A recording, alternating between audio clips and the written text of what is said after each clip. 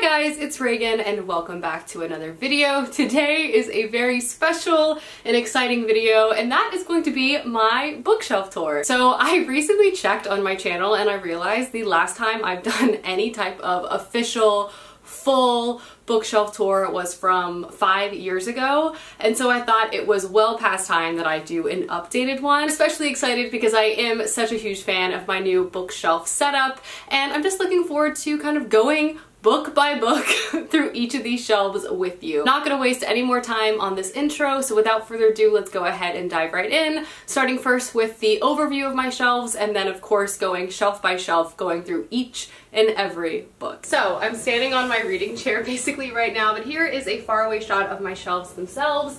Um, these are the CB2 9 foot shelves. I really like these. I like that they don't have a back. They're more open. I also think they fill the space really, really nicely. I'll have them linked down below. I do get a lot of questions about them and I'll also link a few other alternatives as well. For the first time in my life, I also actually organized my bookshelves by genre. I've never really had the space to do it in a way that I wanted to before. Usually I just kind of organize things by series and vibes and a little bit of a prayer to try to just make stuff fit.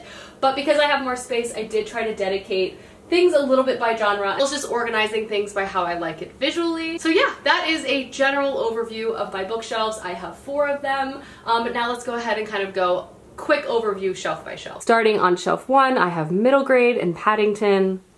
And then the start of my collection of YA fantasy. I do have spillover onto other shelves pretty much for all genres.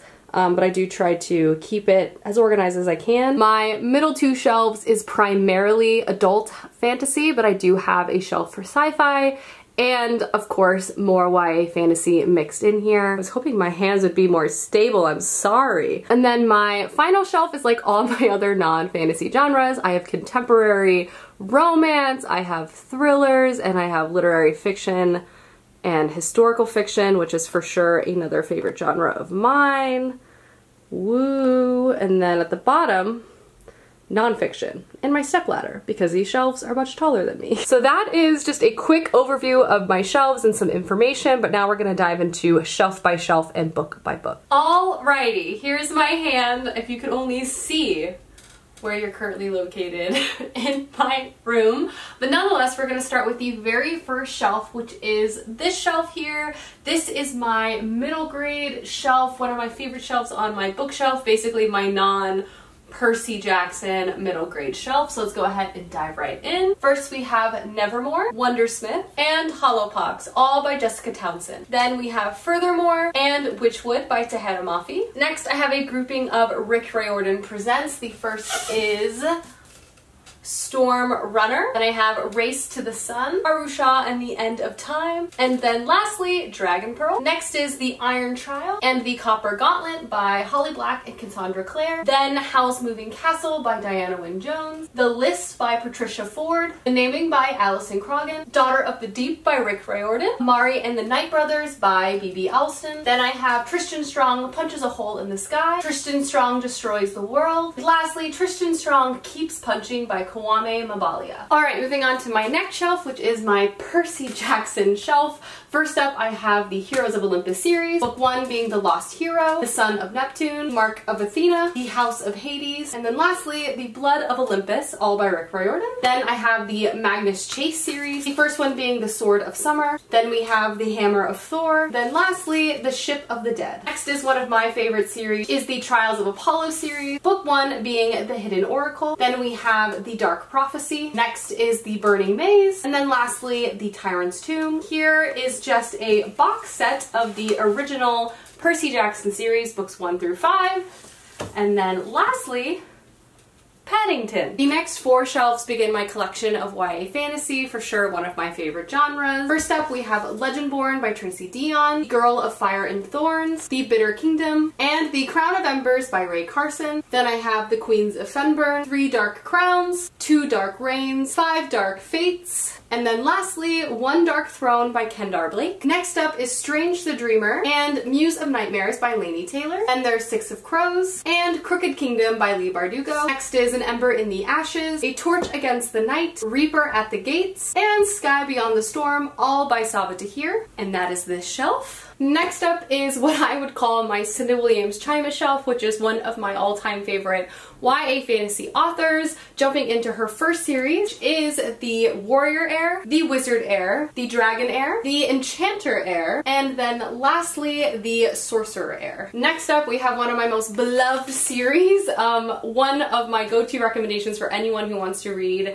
YA fantasy. I love all of these eight books um, and they're directly connected to each other. The first one being The Demon King, The Exiled Queen, The Grey Wolf Throne, and then the fourth and final book in this series, which is The Crimson Crown. Then we have Flame Caster, Shadow Caster, Storm Caster, and Death Caster, which are all amazing. Then we have an incredible duology, which is first Raybearer by Jordan Ifueko, and then the sequel Redemptor, both amazing. Then I have Little Thieves by Margaret Owen, and Jade Fire Gold by June C.L. Tan. Next I have some more incredible YA fantasy. All these books I would highly recommend. Well, fantasy, and sci-fi. The first is Finnikin of the Rock, Froi of the Exile, and Quintana of Charyn by Melina Marchetta. Then we have The Thief, The Queen of Attolia, The King of Attolia, A Conspiracy of Kings, Sick as Thieves, and lastly, Return of the Thief, all by Megan Whalen Turner. Then we have Skyward, Starsight, and Cytonic by Brandon Sanderson. Then is The Knife of Never Letting Go, The Ask and the Answer, and Monsters of Men by Patrick Ness. And last series on the shelf is First Scythe, Thunderhead, head, and the Toll, which is currently just the dust jacket because Clay is in the process of reading this. Wow, would you believe it? More YA fantasy series. I wonder if there's a genre I like to read. Starting off first, we have The Kiss of Deception, The Heart of Betrayal, and The Beauty of Darkness by Mary E. Pearson. We have Walk on Earth a Stranger, Like a River Glorious, and lastly, On to a Bright Unknown by Rae Carson. We have A Curse So Dark and Lonely, Heart So Fierce and Broken, and A Vow So Bold and Deadly by Brigid Kemmer. Then we have just a few of my Cassandra Clare books that I have on my shelf. I think I own all of them, but they're just kind of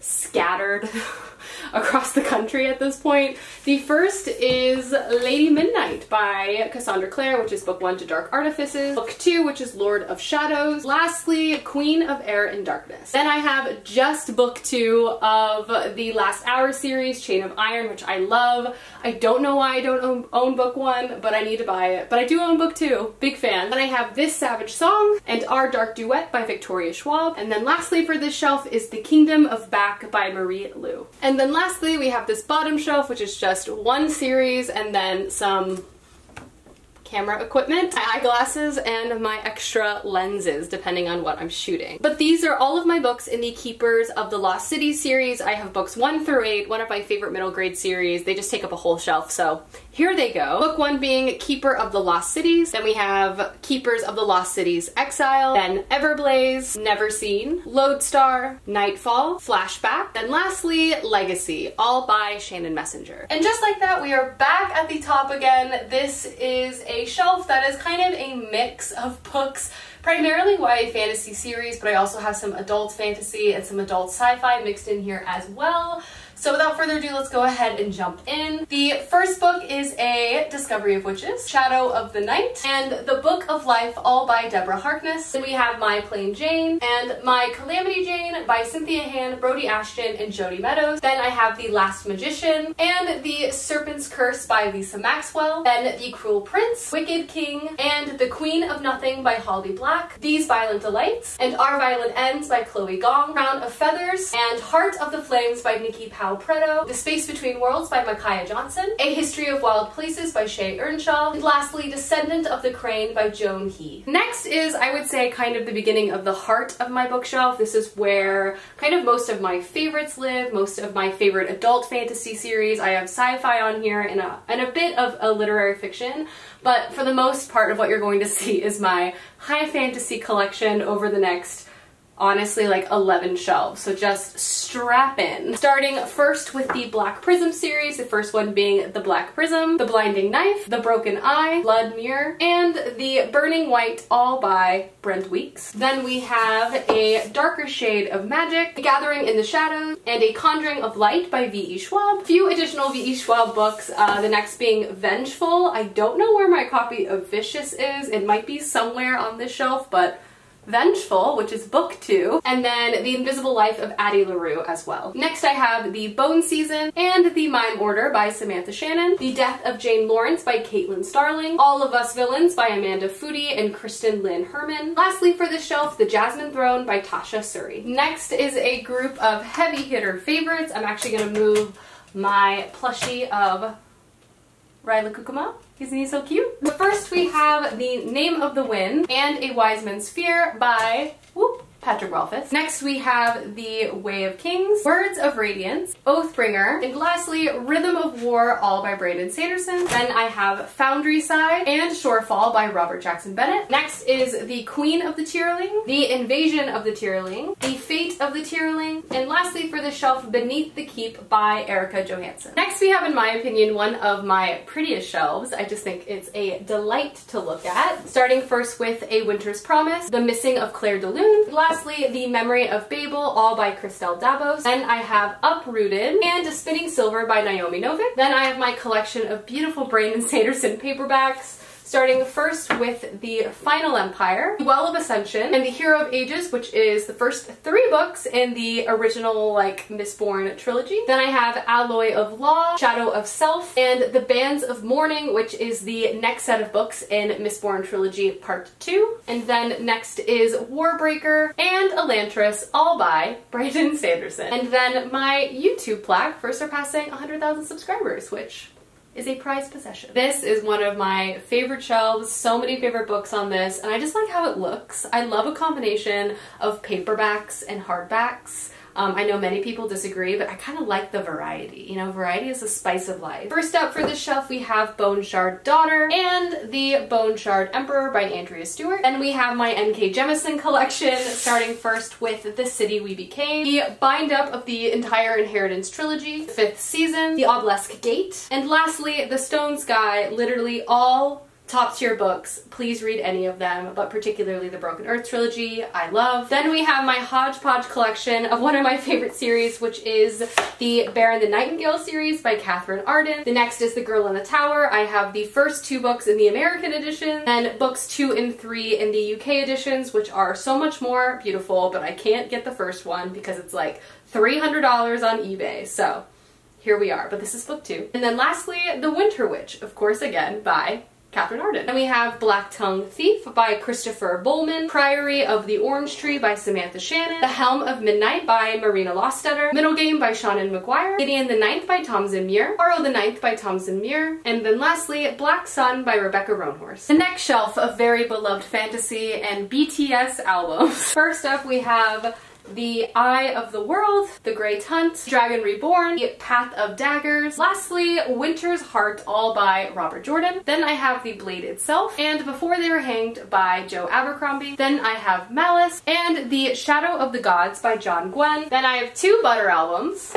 Smooth Like Butter, and the B Collector's Edition. Next I have this pretty book, which is Over the Woodward Wall by Deborah Baker which is a book within a book from Middle Game. And then these really pretty editions of first Little Women and Anne of Green Gables, which I am such a huge fan of. Next we are back on another bottom shelf. As you can see, a lot of Sarah J Maas and then some other romances slash urban fantasy romance down on the end. First up, we have The Assassin's Blade, Throne of Glass, Crown of Midnight, Heir of Fire, Queen of Shadows, Empire of Storms, lastly, Kingdom of Ash by Sarah J Maas. Oh, and we can't forget Tower of Dawn, which low-key, one of my favorite Sarah J Maas books. Then I, of course, have Court of Thorns and Roses, Court of Mist and Fury, lastly, A Court of Wings and Ruin, and the last Sarah J Maas book on my shelf at this point of filming is Crescent City. Then I have The Holiday Swap by Maggie Knox, I've Written in Red, A Murder of Crows, which I am currently reading, and A Vision in Silver, all by Anne Bishop. Hello friends, and we are now at the top of shelf Number three, this angle is always so difficult, so again, I apologize. Book one is Tempests and Slaughter by Tamora Pierce. Then we have Upon a Burning Throne by Ashok K. Banker. A Declaration of the Rights of Magicians by H.G. Perry. Dance of Thieves by Mary E. Pearson. And Vow of Thieves by Mary E. Pearson. A Deadly Education by Naomi Novik. Wicked Fox and Vicious Spirits by Kat Cho. Secret Commonwealth, Book of Dust, Volume 2 by Philip Pullman. Light of the Jedi, Star Wars High Republic novel by Charles Soule, Outlander by Diana Gabaldon, and Olga Dies Dreaming by Xochitl Gonzalez. Next is another all-time favorite shelf full of so many of my favorite series and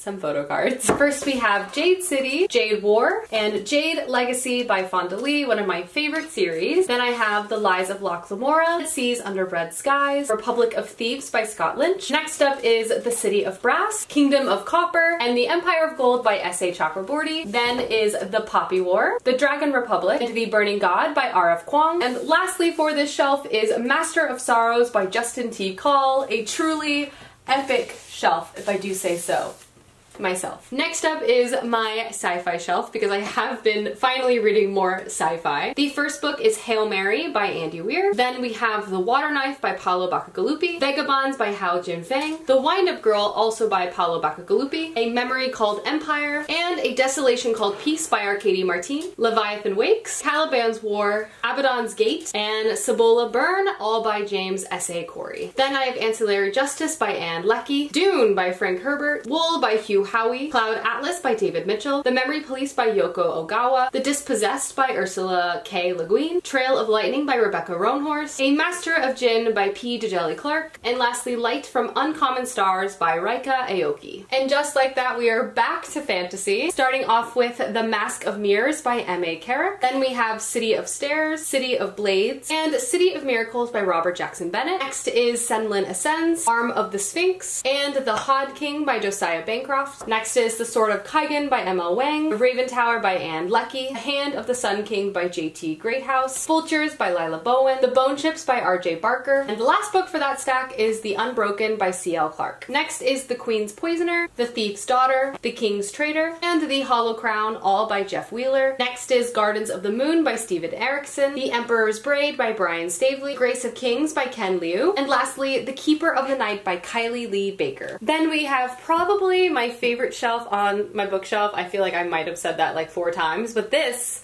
is my Robin Hobb shelf. This entire shelf is dedicated just to Robin Hobb.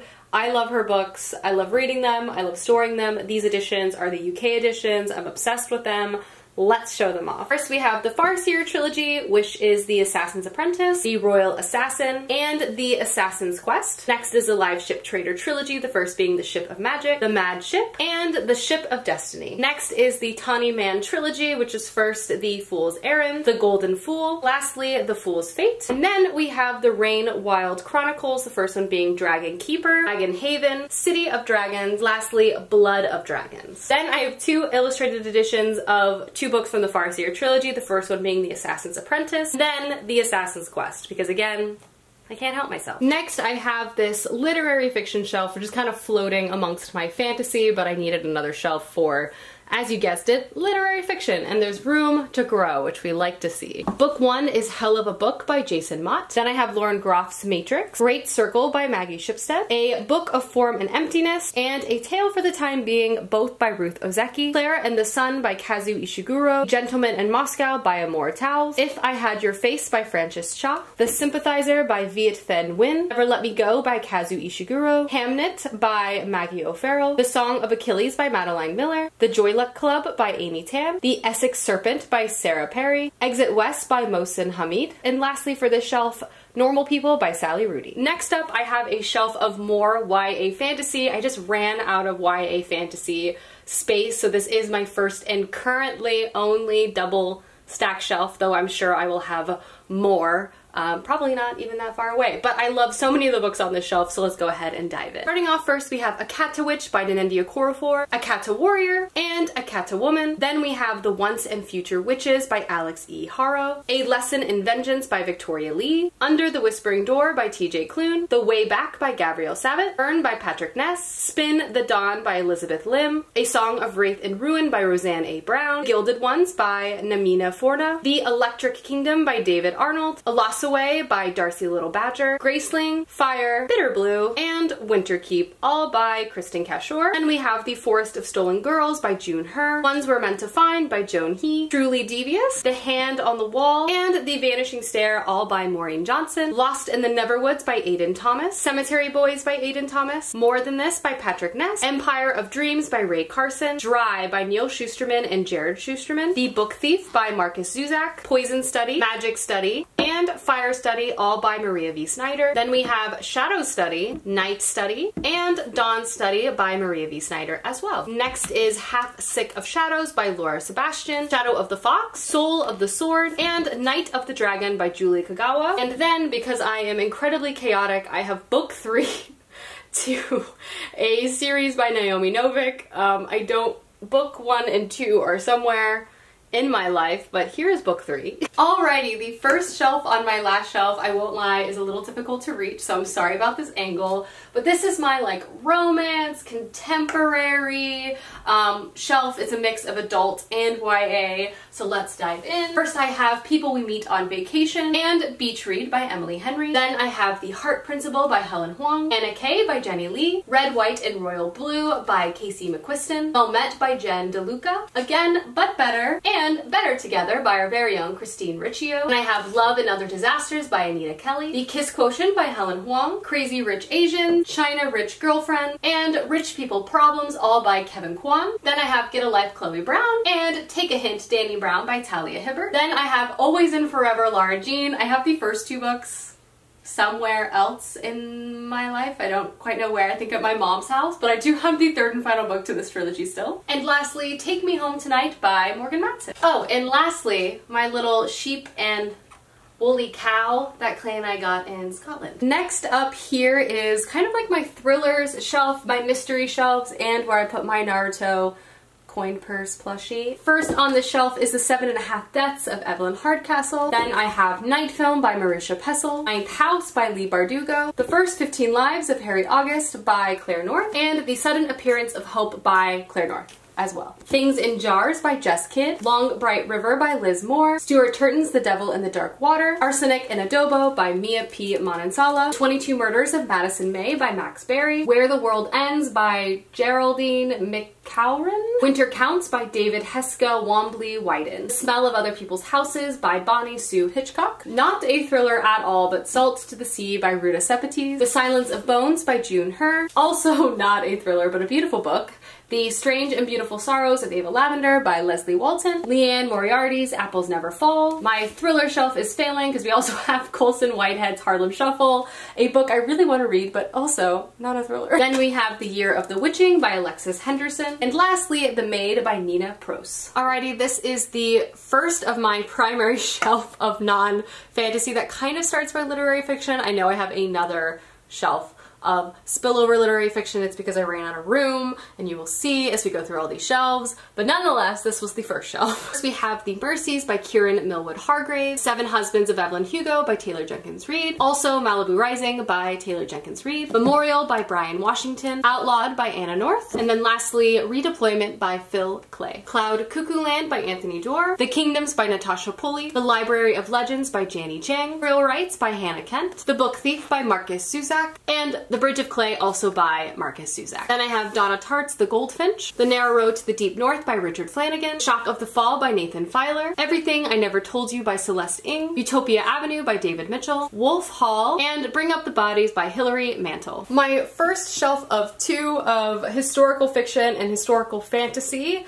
um, starting off with A Constellation of Vital Phenomena by Anthony Marra, Eleanor by Jason Gurley, The Unseen World by Liz Moore, All the Light We Cannot See by Anthony Doerr, Kristin Hannah's The Nightingale, The Golem and the Genie by Helene Wecker, The Miniaturist by Jessie Burton, The Starless Sea by Erin Morgenstern, The Witch's Heart by Genevieve Gornichec, The Book of Magic by Alice Hoffman, The Night Tiger by Yangsze Choo, The Buried Giant by Kazu Ishiguro, The Ghost Bride by Yangsze Choo, A Thousand Ships by Natalie Haynes, Transcendent Kingdom by Yaa Gyasi, a short story collection that is amazing, um, not historical fantasy, but for sure one you should check out, The Office of Historical Corrections by Danielle Evans, The Four Winds by Kristin Hannah, and lastly for that stack, The Queen of the Night by Alexander Chee. Next we have The Martian by Andy Weir, Christopher Moore's The Serpent of Venice, Neil Gaiman, American Gods, Brief and Wonderful Life of Oscar Wilde by Junot Diaz, and lastly, The Court Dancer by Kyung Sok Shin. Another amazing shelf. I really like this fourth and final bookshelf a lot. It has just a lot of amazing historical fiction and literary fiction. Just a bunch of books I'm looking forward to reading or have already loved and read. So the first book I have on here is The Mothers by Brit Bennett, then Fiona and Jane by Jean Chen Ho, Ask Again Yes by Mary Beth Keane, The Muse by Jessie Burton, Bone Clocks by David Mitchell, Parable of the Sower by Octavia E. Butler, Pachinko by Min Jin Lee, The Shadow of the Wind by Carlos Ruiz Zafon, Interior Chinatown by Charles Yu, My Brilliant Friend by Elena Ferrante, Marisha Pessl's Special Topics in Calamity Physics, and lastly for that stack, Neil Gaiman's Neverwhere. Next up we have Gold Diggers by Sanjana Sathian, Once Upon a River by Diane Setterfield, Valentine by Elizabeth Wetmore, The Vanishing Half by Brit Bennett, The Last Story of Mina Lee by Nancy Jooyoun Kim, A Good Neighborhood, Anxious People by Fredrik Backman, Daisy Jones in the Six by Taylor Jenkins Reid, The Glass Hotel, and Station 11 by Emily St. John Mandel. And lastly for the shelf, A Burning by Megha Majumdar. Alrighty, next up is for sure also one of my favorite shelves. The first is Dreamer's Pool by Juliette Marillier, The Sisters of Winterwood by Rena Rossner, Magic Lessons by Alice Hoffman, The Clockwork's Daughter by Kate Morton, Sumunk Kids, The Book of Longings, Gods of Jade and Shadow by Silvia Moreno Garcia, and also Velvet Was the Night by Silvia Moreno Garcia, an incredible writer. And we have Ariadne by Jennifer Saint, and The Inheritance of Orquídea Divina by Zoraida Cordova. Next is The City of Dreaming Books by Walter Moers. Then is Good Omens by Terry Pratchett and Neil Gaiman. Then The Night Circus by Erin Morgenstern. The Rules of Civility by Amor Towles. Fairtown by Fredrik Backman, City of Thieves by David Benioff. A Secret History of Witches by Louisa Morgan. I Am the Messenger by Markus Zusak. Anna Dressed in Blood by Kendare Blake. A really good example of not being historical fantasy, but